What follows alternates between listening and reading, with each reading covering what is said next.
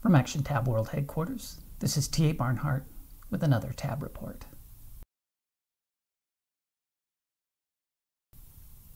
I think of the term sick puppy now and then when I read something particularly disturbing. It will be something that is not merely intellectually flawed or politically objectionable. It will be something ugly and repugnant. Something that the person writing or speaking should be ashamed of but for which he or she lacks the ability. Like this bit of sputum from Victoria Taft. Oslo killer had mind meld with leftist Unabomber. Uh oh, lefties, what will you do now? She's referring to news reports that Norwegian bomber and gunman Anders Breivik was influenced by Ted Kaczynski's writings. Her assertion here is that lefties, i.e., Democrats, liberals, etc., now have a problem. We have to do something because the Unabomber was one of us. Apparently now, so too is Breivik. Taft's so-called thinking here is fucked up beyond belief. First, of course, Kaczynski is no leftist. He's a mentally ill person. He attacked people in a cowardly way, and now he's in prison for being a terrorist. There's nothing political in that. It's how thugs behave. People too immature and selfish to accept other people's rights in this world.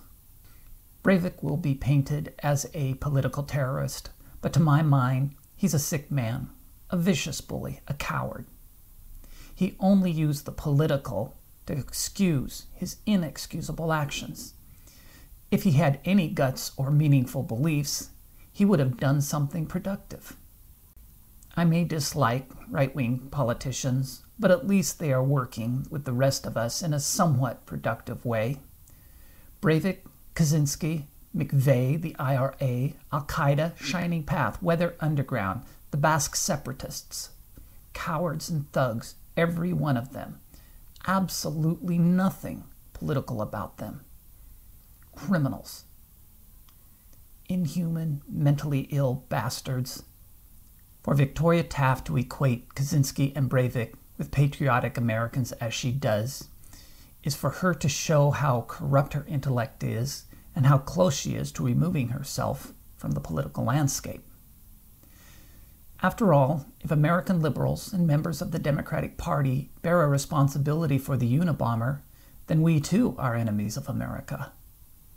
Following Taft's scurrilous logic, American liberals and members of the Democratic Party are dangerous, murdering allies of Ander Breivik and the Unabomber, and we are to be taken down like mad dogs.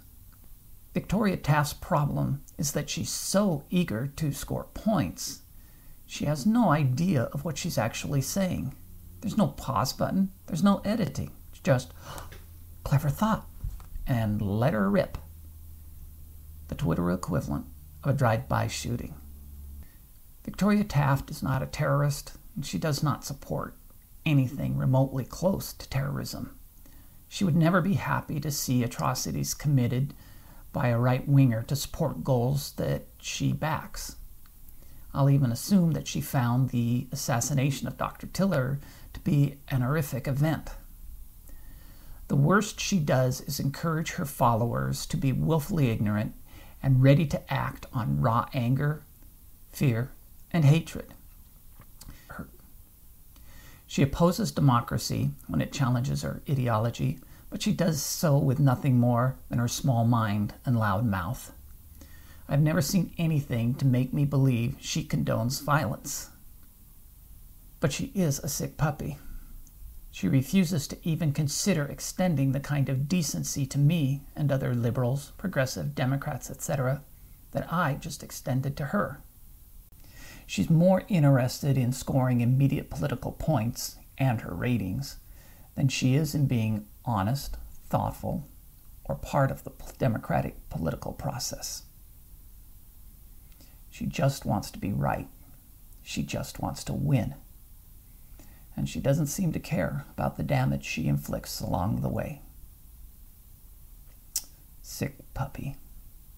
For the Action tab, this is T.A. Barnhart. Goodbye.